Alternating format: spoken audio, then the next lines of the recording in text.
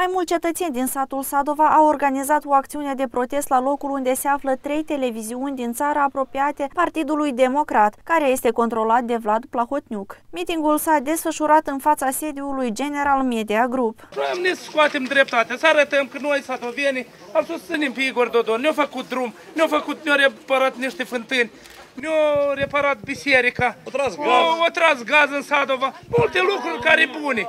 Din ce cauză au făcut ei lucrul ăsta? Vrem să știm, da, școala, la grădiniță odată aici tot. Și ne-au dat informații. Și ne-au dat informații.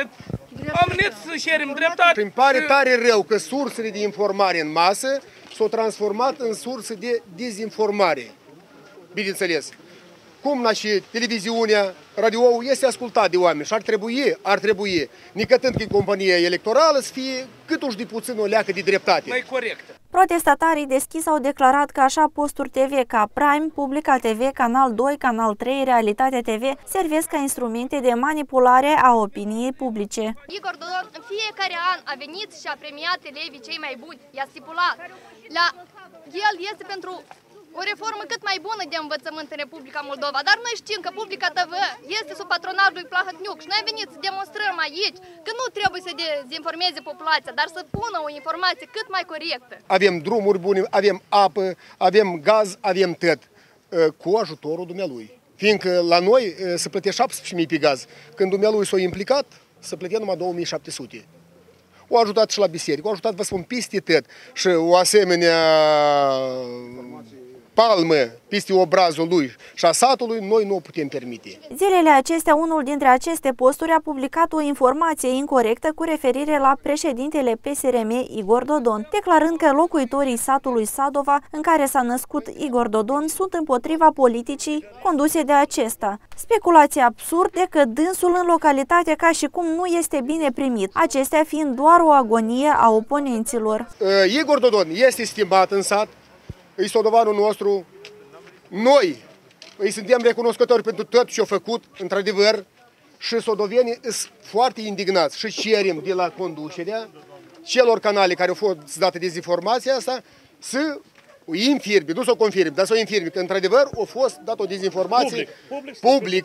Că dânsul nu a făcut nimeni în satul ăsta de câți, câți au fost demnitari de pe, și ne-au promis numai unicul care ține la sat, îl stimăm și ne mândrim cu dânsul. S-a dovedit că zvonurile despre faptul că locuitorii satului Sadova critică politica lui Igor Dodon sunt doar minciuni a jurnaliștilor, articole provocaționale și neobiective scrise intenționat înainte de alegerile parlamentare. După toate, nici jurnaliștii controlați de autorități, portalele de știri și televiziunile deja nu o să poată să împiedice înfrângerea inevitabilă a partidelor pro-europene în viitoarele alegeri parlamentare. Cunoaștem uh, la alegerile din uh, acest an, uh, la alegerile parlamentare, mulți concurenți electorali folosesc uh, niște metode, așa să spunem, murdare pentru a se lupta cu concurenții electorali.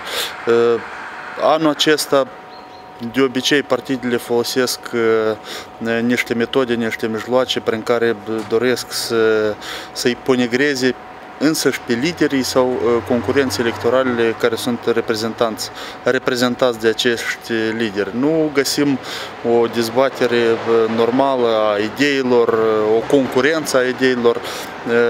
De obicei, oamenii trec la personalitate, ceea ce este uh, un lucru ne, nepermis. Aceasta pe noi nu ne spare și noi considerăm că suntem pe o cale uh, dreaptă. Atunci când concurenții electorali, prin toate mijloacele, prin toate uh, posibilitățile încearcă să atace liderii noștri, noi conștientizăm și ne dăm foarte bine seama despre ce suntem pe o cale dreaptă.